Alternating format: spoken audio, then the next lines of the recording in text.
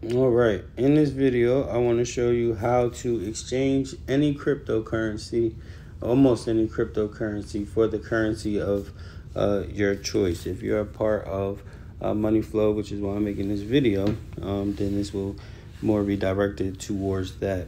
Um, so if you have Bitcoin on your Cash App, um, then I'm going to use this version using the Cash App so you can follow it um, exactly. If you have a different cryptocurrency in your crypto wallet, so if you have Ethereum, um, if you have BNB, if you have Solana, if you have another cryptocurrency that you want to exchange, you will follow the same method.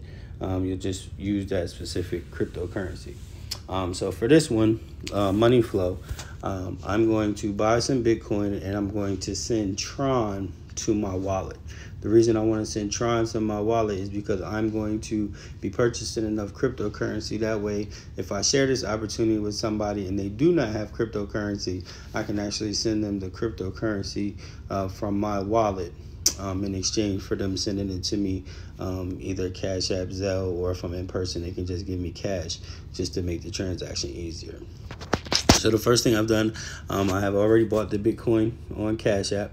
Um, so I have $77 worth of Bitcoin in my Cash App. So I'm just going to um, say buy uh, $70 uh, worth of Tron. So as you can see at the top, um, your Bitcoin, I have 0.00179547 uh, Bitcoin. So I want to go ahead to changenow.io. Um, on the top where it says you send, because I'm sending Bitcoin, I want to select Bitcoin. All right, if I was sending Ethereum, then I would select Ethereum. Um, if I was sending USDT, I would select that. But again, for this case, I'm sending Bitcoin. And the amount of Bitcoin I'm going to send is going to be 0.0017.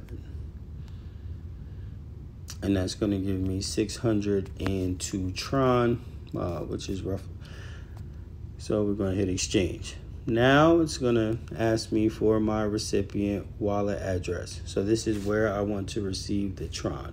All right, so if again, if you're exchanging Ethereum for another cryptocurrency, you want to put the address of the cryptocurrency that you want to receive. So I'm going to go to my Trust wallet. I'm going to get my Tron wallet. I'm going to hit receive. And then I'm going to copy my Tron wallet address. I'm going to go back to change now. I'm going to paste the wallet address in my recipient address, and then I'm going to hit confirm. Now it's going to tell me where to send the Bitcoin. So I'm going to copy this wallet address, and I'm going to go back to my Cash App. And before I do that, it tells you exactly how much to send at the top. I've got to send 0.0017 Bitcoin. So I'll go to my Cash App. I hit send or hit the arrow, send Bitcoin.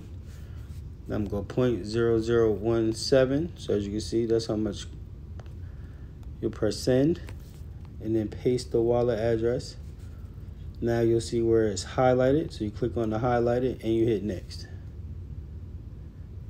Now it tells you you can pick priority, rush, or standard. I generally press priority, which is why I didn't send all the Bitcoin. Press next and then confirm and send.